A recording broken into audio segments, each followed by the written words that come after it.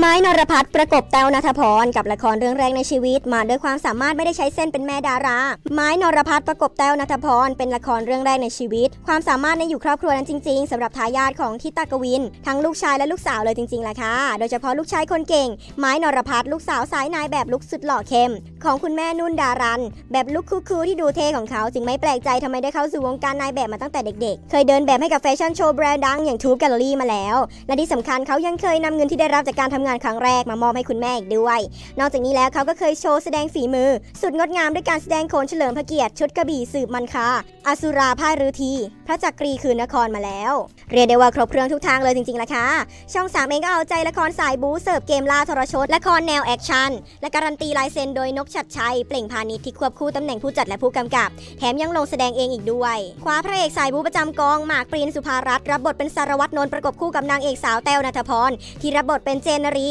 ตำรวจสาวประชันพระเอกท็อปจรณโสรัตน์ที่พลิกร้ายมาเป็นมาเฟียมาวิน พร้อมกับนางเอกสาวตูนพิมปวี น้องใหม่ช่องสามที่บู๊หนักในบทลลิสาด้วยนักแสดงไม้นรพัฒน์ที่ตากวินที่ได้รับบทเป็นระวีทำไมถึงเลือกหมากปริญแต้วณฐพรมาเป็นคู่เอก ผู้เผยจัดว่าหมากเล่นกับเราเป็นประจำอยู่แล้ว อะไรที่เป็นแอคชั่นยิ่งเป็นตำรวจด้วยก็นึกถึงน้องเราคนแรก เพราะว่าเขาเล่นท่าแอคชั่นสวยสำหรับแต้วนั้นเราเคยร่วมงานกันในรักจังเอยก็เลยเห็นว่าน้องเขาทำอะไรได้ใช้แสดงอะไรก็ทำได้ แต่อาจจะยังไม่เคยเล่นสายบูแต่คิดว่าคนอย่างแต้วถ้าไปฝึกก็น่าจะทำได้ เขาก็ได้ทำออกมาได้จริง ๆ